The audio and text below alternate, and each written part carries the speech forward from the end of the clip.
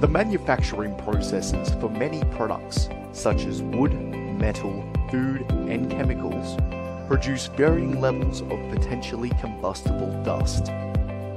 While facilities have a responsibility to manage the airborne particles, they must also monitor conditions to minimise the risk of potential combustion. Reference and understand the fire triangle. When a combustible dust, fuel, is exposed to air, oxygen, and encounters an ignition source, heat, there is potential for a fire. Add dispersion and confinement factors, and there is potential for a dust explosion.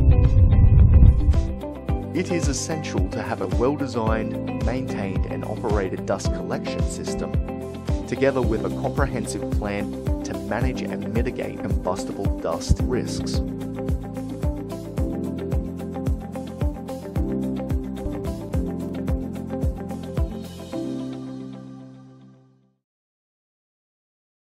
Mm-hmm.